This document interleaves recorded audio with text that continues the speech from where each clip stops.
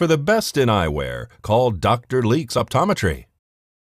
Well, this has been a dream of mine since uh, 25 years in the making.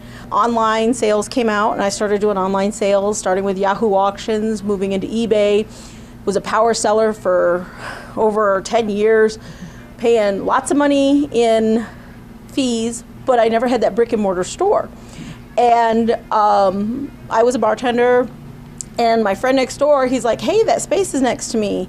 do you still have all your inventory? Do you want to open a store? Maybe you should look into it. And I'm like, I don't know if I want to do that because it makes me very nervous. Put my feet in the water there with that brick and mortar. Yeah. And um, he's like, think about it. And I was like, wow, that would be a great location because it's got big picture windows and I'm right here on the corner of Calvada and Pahrump Valley.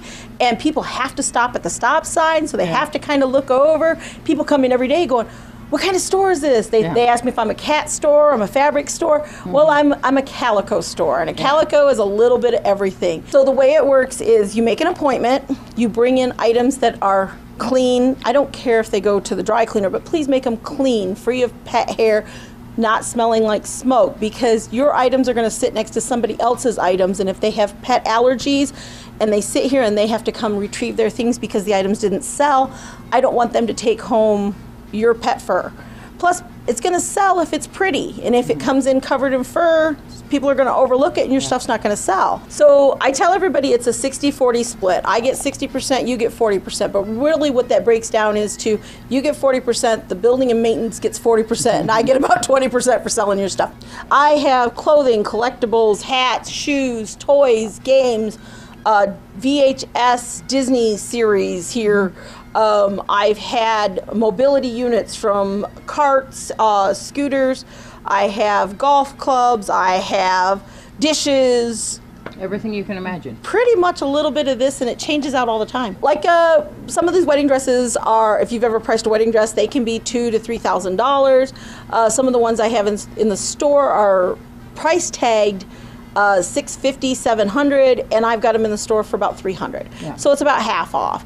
Uh, a lot of the prom dresses right now i'm running a special through the end of the month. If it has a pink heart on the prom dress tag it's 50% off Right now, I have my pink heart is my big thing. So tags with pink hearts on them, I usually have them 10% off because that means it's been here a little while. It's about ready to be retrieved by the owner. Mm-hmm. So right now, I'm running 25% off anything with a pink heart with the exception of the formals because those are 50% off. It's not just women's clothing and accessories. I do have a lot of men's clothes. If you're a golfer you like polo shirts, I have gentlemen that bring in polo shirts and dress shirts all day long, shorts, uh, jeans, Levi's, um, Calvin Klein. These, these are not things you're going to go to Walmart and buy, which is, you know, unfortunate.